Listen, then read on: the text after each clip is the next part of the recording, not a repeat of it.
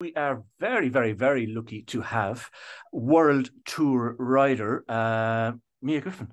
How are you? I'm good, thanks, Keith. How are you? I am good. I am good. This is big news. This is a fairly important news, I think, from the fan point of view, um, and even briefly looking over the races that they were competing in last season. Uh, this must be tremendously exciting. Yeah, Not I think explaining here. I kind of am a little bit, but it, it, really must be tremendously exciting. Yeah, I, I'm so excited about it, to be honest. I think next year is going to be a huge, massively steep learning curve, but I'm excited to to throw myself in and learn so much from the girls who've ridden at this level and from all the teammates. And yeah, I'm, I'm just excited to to be an Irish girl that's uh, going on nice. to a big team. Um, how does this come about?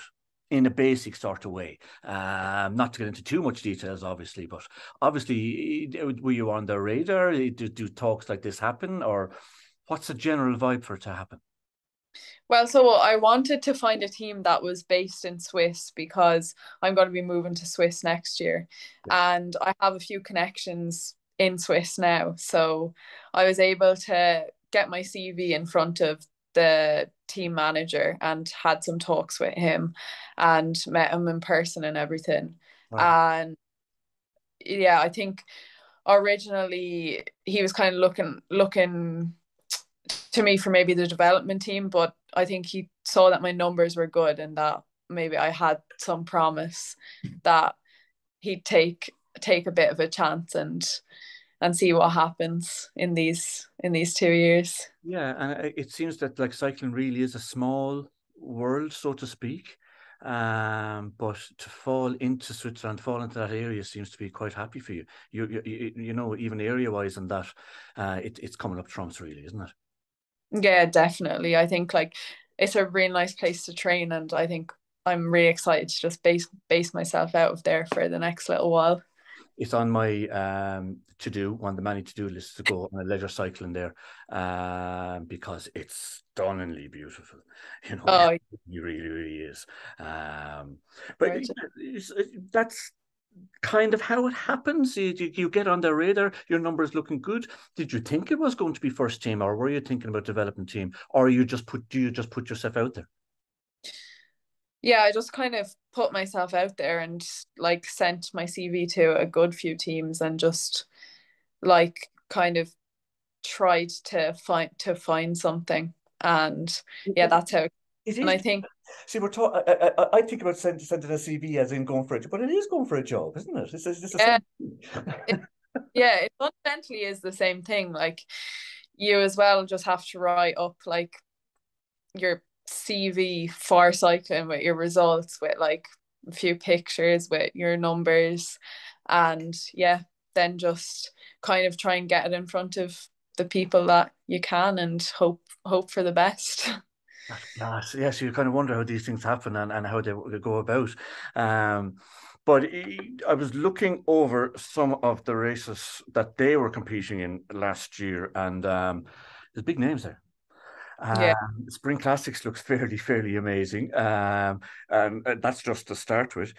Do you have any hope, or is there any kind of thing that you are you just going to go in there going, you want, I want to learn, I want to ride races, uh, I, I, want to just advance? Is there is there anything there in the back of your mind uh, that you would like to target? Let's say. I is think. awful question. not, not really. I think I want to learn as much as I can, and I think I learn a lot riding for some of the girls as well.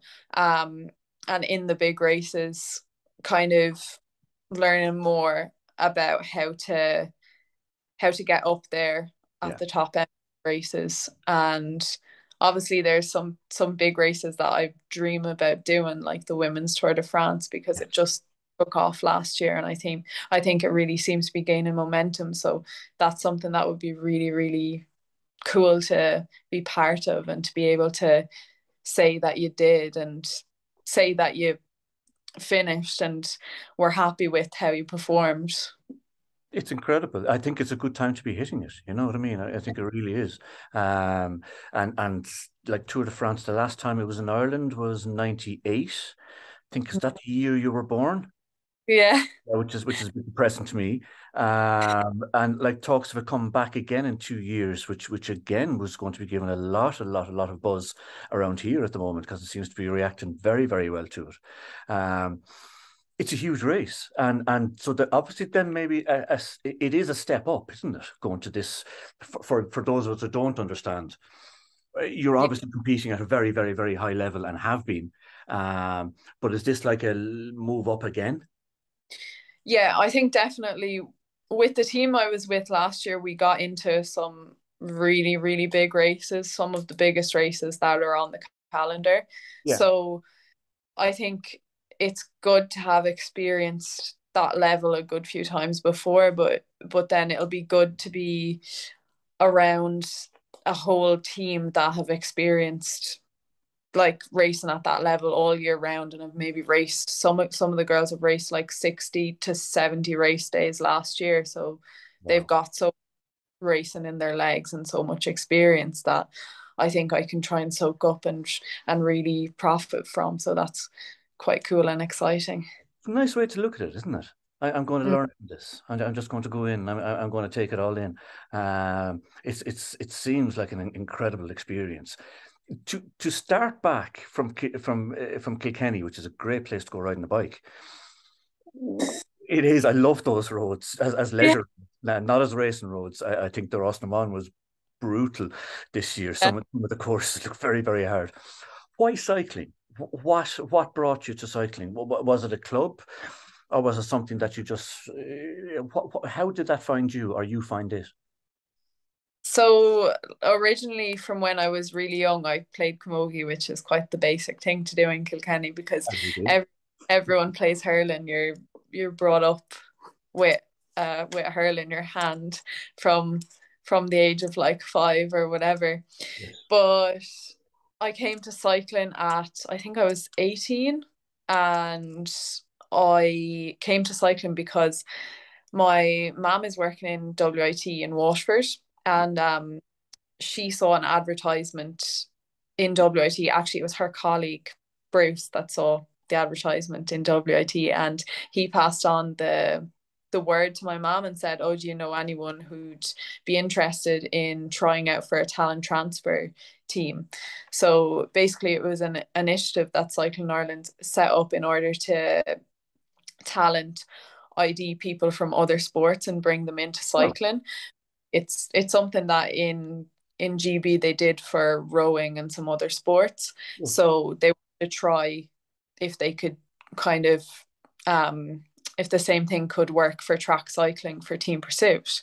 So then I did I did a test, a three minute test and a six second test on a Wattbike in WIT and I didn't really have any clue what I was doing. I was just like three in a air run. three three minutes is horrible. Like if I was to have to do that now, I, like it's it's it still hurts. Oh yeah.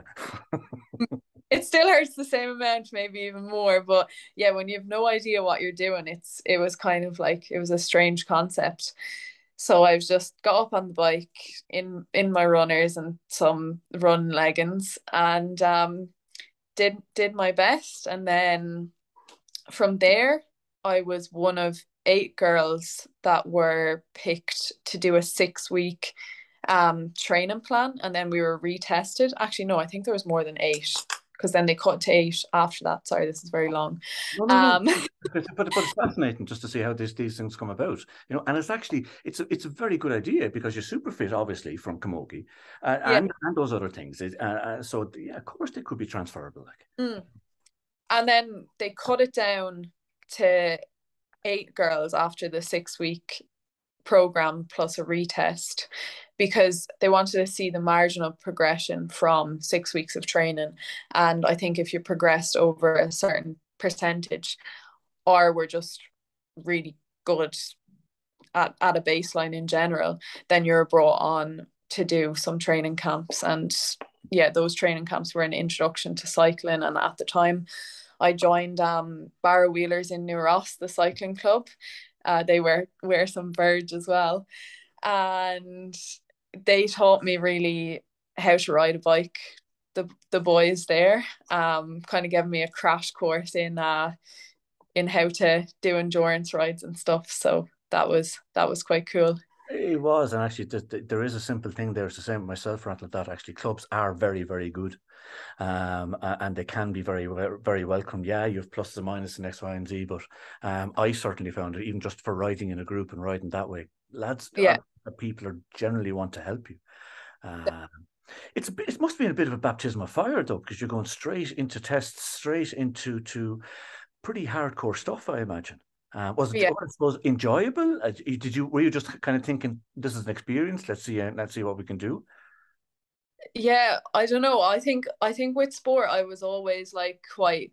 Even when I played camogie, I was quite serious about it. I always would have been like doing my gym on the side. I also did athletics as well, so I kind of mixed the two, and always was always was really serious about sport. Maybe not not as serious about school. So it was always like what I wanted he was a number one.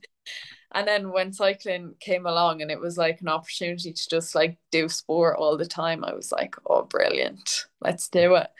That and actually, I have to say that, that uh, as as a program, um, yeah, no wonder it breeds success because you you you're just casting the net, aren't you? Um, and not focusing down one line to try and find cyclists. Um, yeah. Your first race, or was it track you raced on first, or was it road you went into first, or what way was that? What sort of an experience was that? I love asking people this question because it can be a real mixed answer uh, to how your kind of first competitive race was. Oh yeah, one of my first competitive races was um, a track World Cup after three or four months of being on a bike, and it was like a complete disaster. Um, which looking back is kind of normal. yeah. But um, yeah, I remember just before it being nervous for like weeks before it, which is like funny because like now if I had the same event, I might just be nervous on the day, not like this like week long nervousness. Um so yeah, definitely there was like people flying off all over the place, like as in breaks in the team pursuit and just like disastrous stuff. Wow. But we stuck with it and kept kept um going and it took us years to try and get better at it, but got got better at it in the end. Yeah, there must be a real love then for it because obviously you have to have that real sort of love to stick at something like that. That's proper hard. Um, is it the is it the training or is it the experience or is it the competition? You're obviously competitive anyway. Um, is there something there that kind of stands out, or is it a whole package to kind of go, yeah, this is what I really love? Yeah, I think I think it's kind of a combination of everything. I think cycling is just very addictive. I think anyone who who does it kind of knows that like as soon as you start like you do two hours, then you just want to do three hours, and then you want to be able to do three and a half hours, and then you want to be able to do three and a half hours with threshold efforts or something. You're always like constantly looking to the progression to more, and then you go racing and you realize, oh, I'm actually not that great at this, and then you're like, oh I but I, I want to get better and then it's just like a constant kind of cycle of of that, just wanting to do more cycling. Yeah. Um, yeah. That's really is a little bit of a baptism of fire, but obviously there's something there that kicked on. You moved on to TC Racing. Yeah, yeah, yeah. Right yeah. Um, and again, is this just like a progression? Is this just is, is this the way it kind of moves on? You you you you just try and and, and find is it more like minded people? Is it is it more opportunities or how would that come? I think I just I just messaged Tom and just asked him could I be on the team. Um and then he was really really nice with me around the races and everything and was really good for like giving advice on on some of the road races that I did and like was just was just really positive and all the girls were were positive as well. They're so down bunch, aren't they? And that's what I find. People want to give information and they want to give help and they want to see people generally uh, in the cycling in cycling scene anyway. How was road racing then for the for for the first time? Oh, the first time it was terrible because I had no endurance. So I'd like go absolutely he- like balls out for the first hour and then absolutely blow my doors. And that was kind of like Isn't that, that what everybody does? yeah, got kind of still still sometimes experience this as well, but like I think it, it definitely was a deep end. Like I remember one of the races in Wicklow, like uh I think it was the Lara Classic. The first time I did it, I was just like dropped quite early into it and just was slogging away on my own then for the race. That's a super But like race, though. Uh, it super really is, you know. Um, I, I think I only did it once and I hated it. And I wouldn't be anywhere near your level. yeah. so, um, so progression, progression, progression, and kind of moved on from there, where you actually ended up in Belgium. Yeah, exactly. Um and yeah, I remember my one of my first races in Belgium was um was one of the the semi classics Le Samyn. Yes. And I just remember like I was hyperventilating on every cobble section because I was just so so so full gas and just didn't know like everyone said that like cobbles were were gonna were gonna be bad. And I like I remember asking Alice in Mallorca she sometimes reminds me of this one day going over this tiny little cobble section and I said I said to her oh are the cobbles in Belgium like this? And she said that like she didn't really want to answer me like saying no they're way worse. So she just yeah yeah they're just like that and then I got over to Belgium and to say that cobbles are like going over a load of like babies' heads it's kind of that's what it that's what it's awful like question. Track or road? Which one would you prefer? uh Is that an I unfair again? Is that an unfair question? no no I don't think that's an unfair question I think like I love like I love the track and there's definitely bits of the track that uh, that like I I love I love so much and yeah but then the road I don't know it's they're just different from each other as well comp- uh, they, seem to be. I, I- I had no knowledge of the track, and I, I don't think a lot of people know a lot of the in- intricacies of, of track and things like that. It's, it's a completely different beast. yeah Um, it, it really is. It's unbelievable to watch. It's it's yeah it's to- absolutely totally incredible to understand. no I think that the challenges are first of all you're kind of home sporadic so sporadically so you're just kind of like this random person that's part of your family that's like the person that just like pops in and is like hey I'm home again like look at me back back the world. And um yeah I think I think that part of it makes you feel like you're a bad family member because you kind you have to then when you're at home you can't be like oh they're like oh, I'm going shopping and you're like oh I have a session I had a session this morning and I have another one this evening so I can't go anywhere in between because I have to rest. Yes, like that's when you're just like you're like the boring family member then as well. Um it's an but astonishing commitment, isn't it? It well yeah it is it is a commitment definitely it's it is a, a big commitment but obviously the commitment is worth it when the rewards come which the rewards come at a slow and kind of a, a slow rate but when they come they're really really worth it Yeah, um I, I would think. You're going out on a train ride, a playlist. What sort of music would you listen to? Oh my music is really embarrassing no like comparison to music. I was talking to somebody last night, and I, I was I was telling that I was listening to No Doubt and Paramore, and he was kind of going, "What? You don't?" Said, "Of course I do. The music that you like is the important thing." Yeah, I think I love I love um like Britney Spears or like a bit Beyonce or something. yes. Um, Would you like Would you be listening to uh, Taylor Swift's uh, album that she launched today, or would that be on your radar in any way, shape, or form? no, not at all really. Some of her songs are good, but yeah, I she's not not on the radar, So you're unfortunately. Britney, Britney, Beyonce. You want pop, and and you want uh, big songs. Yeah, yeah, Okay. big big girl girl power power boss songs. do, when you're on the track, I see. Do you always listen to a little bit of music beforehand, or, or is that is that varied from athlete to athlete? Yeah, I think definitely I like to listen to music warming up. I think there's not many people who listen who don't listen to music warming up. Yeah, it's it's just a tune out, really, is it? Yeah, and I think yeah, it's just I think it kind of like because because in the center of the track there's like everything going on. It's so crazy. It's nice to just have your like few minutes before the race to just be like in your headphones listening to your own music kind of away from all the chaos that's happening and just to be able to focus on yeah doing your warm-up. Um, yeah, I think people off season what are you uh, what's an off-season treat to you? Um, is it coffee and cake? Is it just completely not talking about cycling? Um, or what are you looking forward to over the next let's say week or so? Yeah just being able to spend time with family and i went to a gig with my sister um, and in, enjoyed that.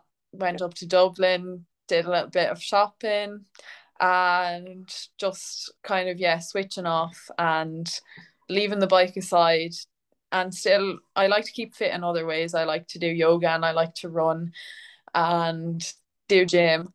Yeah. But obviously and if I don't want to do anything in one day then I don't do anything and just let the body let the body back up again. Rest. Um so I think until then the most important thing is just to like to be able to switch off. And I think being able to switch off is a, is a skill in itself. And I think some people are really really good at it. If, if I'm honest with you it like I'm I, it took me most of my life to be able to do it. Uh, and still I'm learning on it. Um it's incredibly difficult. I yeah. quite uh, fast paced and it but it's one of the the most advantageous things to do. Whether you're talking about sport or whether you're talking about any form whether it's work to be able to just daydream even or switch off or do something like that is is, is vital for well-being i think. Um uh, yeah so it's it, it's a good thing. Um you've been amazing. Um it's fantastic news and the general feel and this is true the general feel is it's, it's everybody's delighted for you um oh. it, it it's great it really is great to see. Um so yeah kick ass. Go out there. Give it hell. You'll all be okay